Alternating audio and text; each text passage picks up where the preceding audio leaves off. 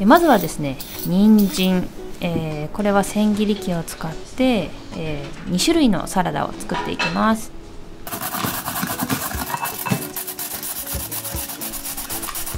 で、まあ、ここまで細くなると結構あのすぐしんなりするのでやっぱりあの、まあ、手で切る不揃いさも美味しいですしこうやって細かくする手軽さとあの繊細さみたいなのもあるので、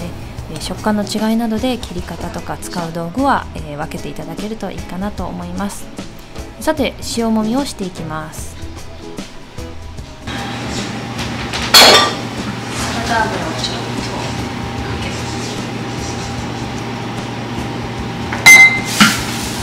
とサラダ油とそれからつきごまを入れていきます。つきごまっていうのはすりごまといりごまの真ん中のちょっとなんか潰したみたいな食感と風味が濃い種類のごまとなっています。スーパーで売ってますよ。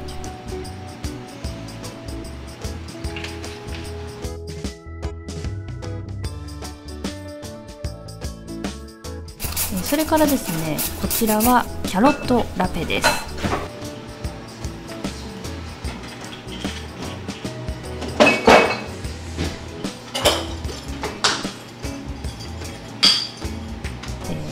塩とか砂糖とか入れていきます。オリーブオイルで水分をくるんでいきます。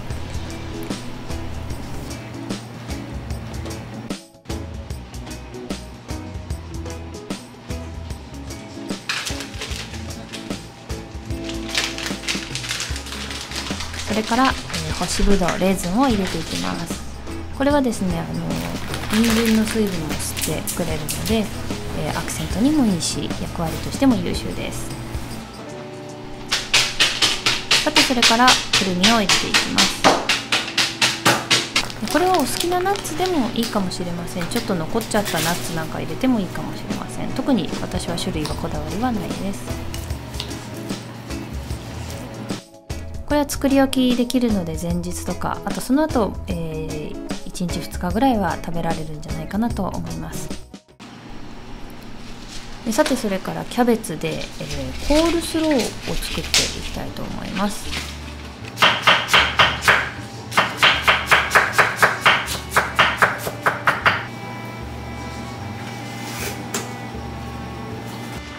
雪塩っていう細かい塩を使っていきます。すごく馴染みが早いので早くお水を出したい時はこれを使っていきます。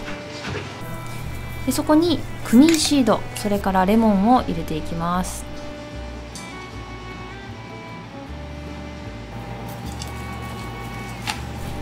これはですねクミン以外はすごくシンプルな味付けでマヨネーズぐらいしか入れないんですけどあのこのクミンのちょっとした癖みたいなのがすごく美味しいんですよね。これはあの子供たちにも大人気です。それからですねこのパクチーの量、えー、パクチーがたくさん手に入った時にぜひ作っていただきたいです。パクチーだけのサラダです。パクチーっていうとあのなんかオリエンタルな料理の、えー、上にてっぺんにちょっとパラパラっとかかってるイメージがあるんですがこれはボウルいっぱいにパクチーを使っていきます。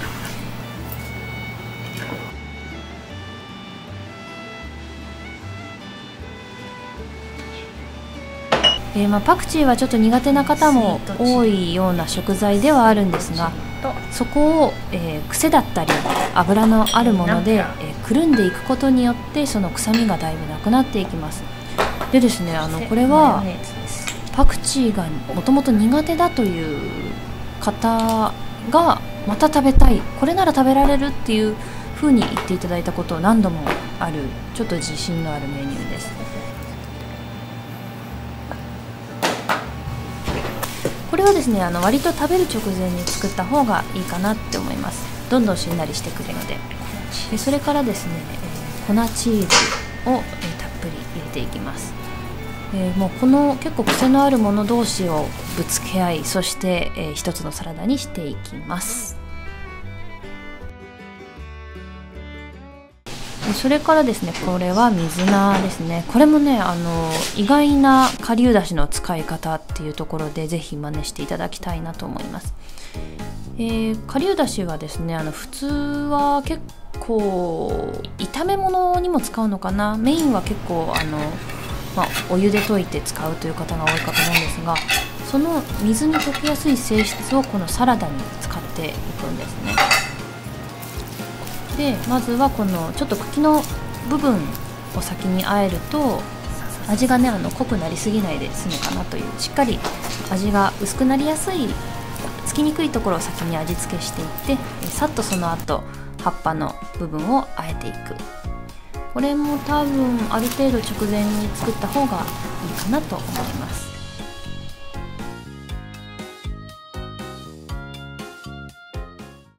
えそれからですねちょっとびっくりされるのがあの材料がかなり少ないんですが、えー、豆腐とネギだけのサラダなんですね。で私はあの木綿豆腐で作るのが、まあ、食感的に好きなんですけれどもこれはもう好みなのであの絹で作られてもいいかなと思います。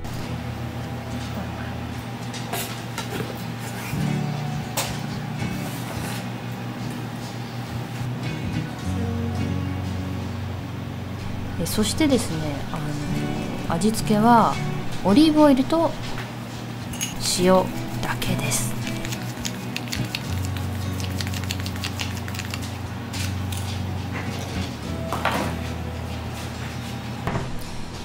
それからですねこれもまあちょっと簡単、まあ、全部今回ねかなり簡単な方だと思うんですが、えー、パプリカ。これをですね、えー、細く切っていきます。こんな感じで薄く並べそれからこれもオリーブオイルと塩だけですね。普通の塩でもいいですしちょっとしたハーブソルト。ちょっとなんかこういろんなあのシーズニングが混ざった塩で、味付けしていくと美味しいですよ。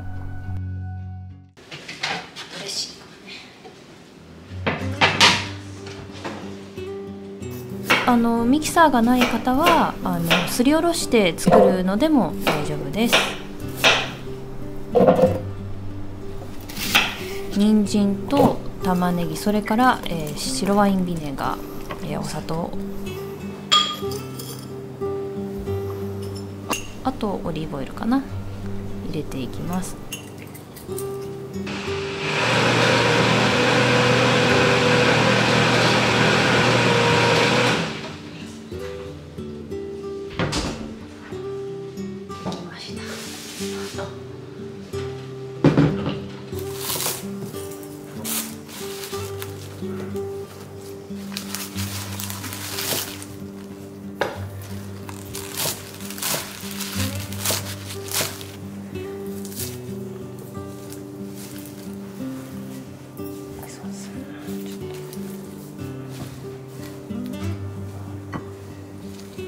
こんな風に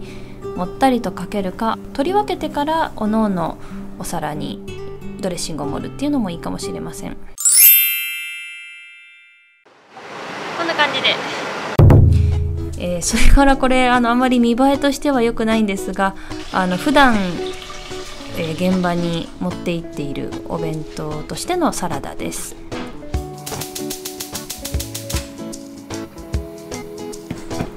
まずはサラダチキン作っていきます、まあ、少しフォークで穴を開けて、えー、染みやすいようにしてそれから塩とか好みの味付けで、えー、周りに味をつけてですねこれはまあハーブ塩かな。そして、えー、湯煎していきます、えー、こうしてちょっと、え、12分かな。少し火を弱火で、えー、入れた後その後、え、まあ、放置でもいいですしこの私が使っているのは、えー、保温をする機能のある、えー、シャトルシェフって言ったかな。そういったものです。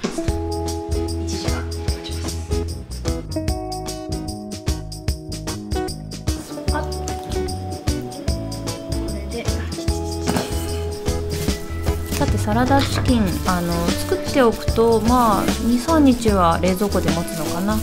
それからたくさん作っておいて冷凍しておくのもいいかもしれません。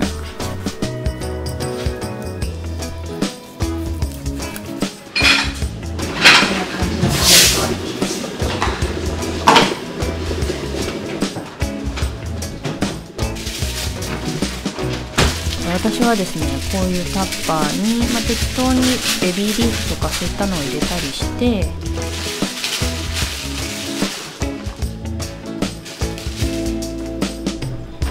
でこれまた適当になんかその日ある野菜とかトマトとかゆで卵とかそういったものを入れていきます。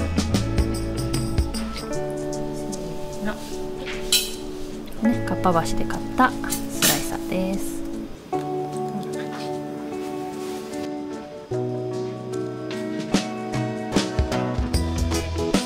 それからですねサラダナッツ、えー、こちらをですねあの一緒に入れていきます。これはねあのちょっと味がついてるから直前にかけると風味が出てとっても美味しいです。サラダナッツとビネガーとオリーブオイル。もうこれはあの普段ドレッシングを小瓶に入れていくことも多いですし、えー、その時家にあるものを持っていきます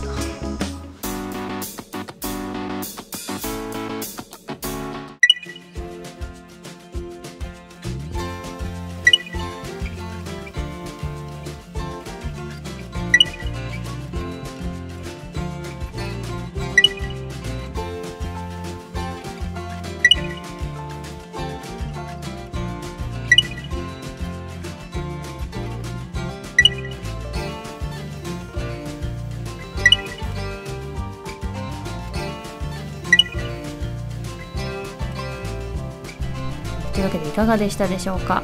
どれもねあの結構簡単に手順としては2つか3つ以内で作れるんじゃないかなと思うので是非是非作ってみてください。